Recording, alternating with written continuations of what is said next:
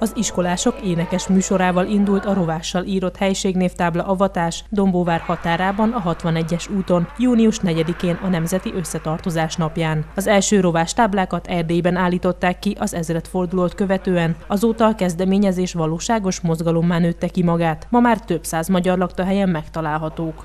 Volt az elmúlt esztendőben egy Trianon emlékbizottság Dombováron, én voltam az elnöke, és ott merült föl annak a lehetősége, hogy Dombováron is sok más településhez hasonló legyen rovásírással a település neve kiírva a település határainál.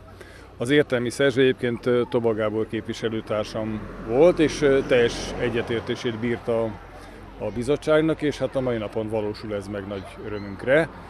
És külön öröm, hogy 300 az országban, tehát ilyen kerekszám, 300 olyan település, ahol ilyen tábla van. Kimaradtak évtizedek ebben a dologban, és újra kéne éleszteni, hogy legyünk büszkék a múltunkra. Hát ez a rovásírás egy olyan különlegessége a magyar történelmnek, ami nagyon kevés népnek a kultúrájában található, vagy ilyen nagyon kevés népnek a kultúrájában található, és tanítani kéne egyébként, hogy, hogy, hogy, ilyen, hogy legalább arról tudjanak, hogy volt ilyen.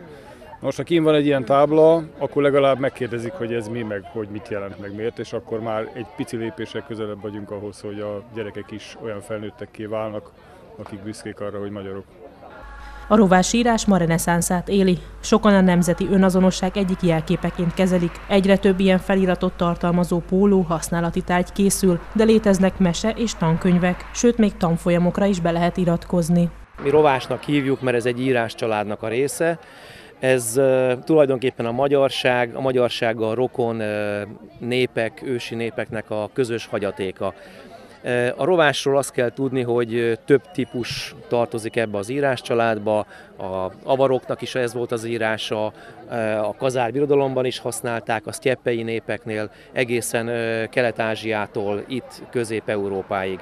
És ennek az egyedüli ma is élő ága az úgynevezett székely magyar rovás, amely nevéből is megfejthető, ugye a székelység őrizte meg a legjobban, legtovább élőírásként, de tulajdonképpen a teljes magyarságnak egy, egy szellemi hagyatéka.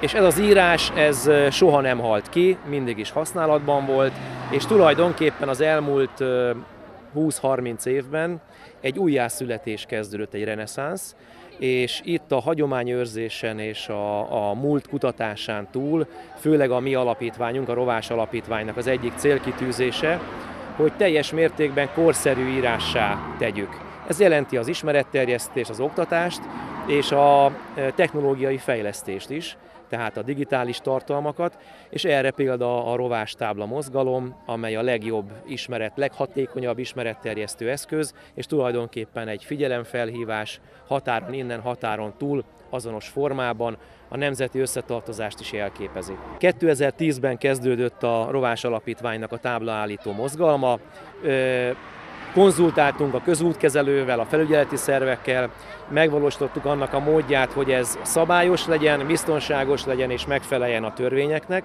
Kerestünk rá e, megfelelő gyártót, és összeállítottunk egy olyan igénylési rendszert, hogy tulajdonképpen minden közösség, legyen ez önkormányzat, baráti társaság, egyesület, nagyon egyszerűen és hatékonyan e, táblaállítást tud kezdeményezni és fontos az, hogy mindez szabályszerűen és a törvényeknek megfelelően zajlik. 2010-ben kezdtük, tehát most 11 éve zajlik a mozgalom. Információink szerint a megyében további ilyen táblák avatására is sor kerülhet.